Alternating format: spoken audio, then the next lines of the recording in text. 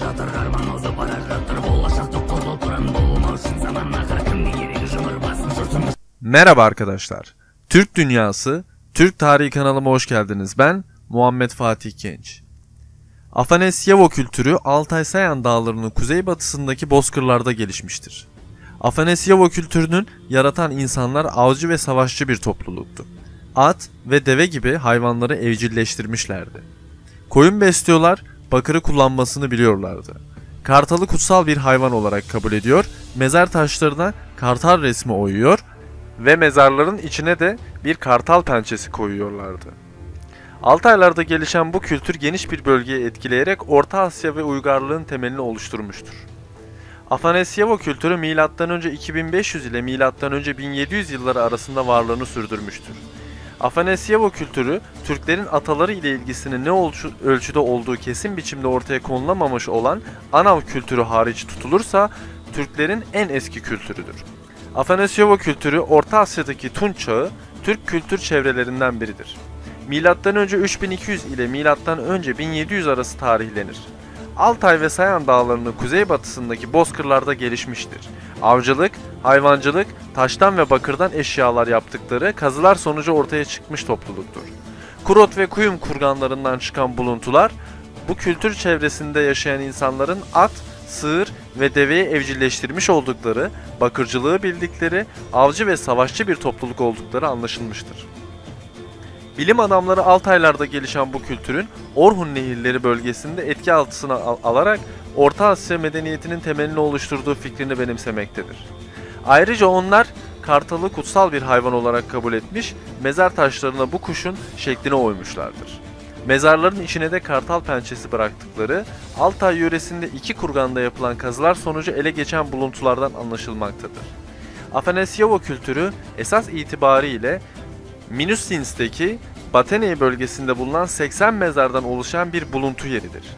Mezarlardaki cesetler genellikle kırmızıya boyanmış ve üzerleri taş ya da toprakla kapatılmıştır.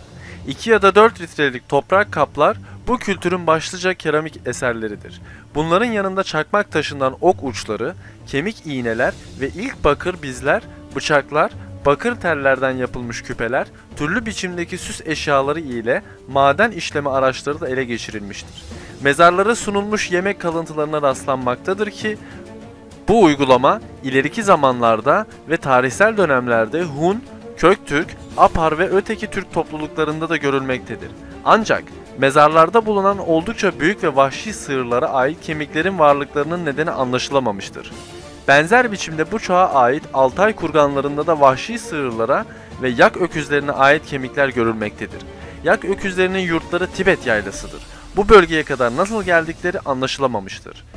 Afanasyevo kültüründe koyun ve at kemiklerinin av hayvanlarına ait kemiklerin yanında görülmesi bu kültür insanlarının avcılıkla beraber çobanlık da yaptıklarını göstermektedir. Afanasyevo kültüründe at ren geyiğinin yerini almıştır. Esasen bu çağda Altaylarda ren geyiklerine ilişkin izlere rastlanmaz. Afanasyevo kültürünün güney etkilerini taşır. Bu etkiler de en yakın bölge olan Altay dağlarından gelmiştir. Afanasyevo kapları kuzeydeki Tayga bölgesinde tamamen ayrıdır. Bataney kasabası yakınında ve Yenisey Irmağı'nın sol kıyısındaki Afanasyevo adını taşıyan tepedeki bir mezarda ilk kez ortaya çıkarılan bu kültür, gerçekte cilalı taş çağından bakır taş çağına geçişi temsil eder. Bu mezar bir taş yığınıyla örtülmüştür. Yani bir kurgandır. Mezardan hoşger durumunda bir iskelet ile sivri dipli kaplar, temren, bakır ve kemik eşya, Aral Gölü'ne özgü midye kabuğundan gergedanlıklar ve halhallar çıkarılmıştır. Burada bunlardan başka at, yaban öküzü, balık, karaca ve koyun kemikleri de elde edilmiştir. Koyun kemiklerinin at kalıntıları ile birlikte ilk kez bir arada görüldüğü Afanasyevo kültürü, koyunun Türklerce milattan önce 3000'den beri bilindiğini göstermektedir. Ayrıca Asya'da ilk at kalıntıları da Afanasyevo kültürü ile onun bir gelişmesi ve devamı olan Andronovo kültürünü görülmektedir. Afanasyevo ve Andronovo kültür çerçevesi içinde yer alan Kapandeyus bölgesinde M.Ö. 3000'in sonlarına ait mezarlardan ağızlarında demir gem izleri taşıyan at iskeletleri bulunmuştur. Afanasyevo kültürünün Altaylara da yayılmış olması her iki bölgeyi kültür ve sanat tarihi açısından birleştirmiştir. Bu devrin Altaylardaki en önemli buluntu yerleri Kurot ve Kuyum kurganlarıdır. Bu mezarlarda keramikler yanında bir kartal pençesinin bulunması sonraki Türk kültür ve sanatı bakımından önemlidir. Altaylar bölgesindeki mezarlarda bazen taş parçalarıyla bazen de küçük mezarlarla kapatılıyordu. Afanasyevo kültür dönemini Androvo kültürü izler. Bizi izlediğiniz için teşekkür ederiz.